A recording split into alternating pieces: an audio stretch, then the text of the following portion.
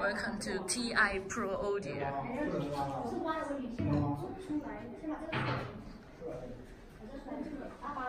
Line array and the driver units, stage monitor.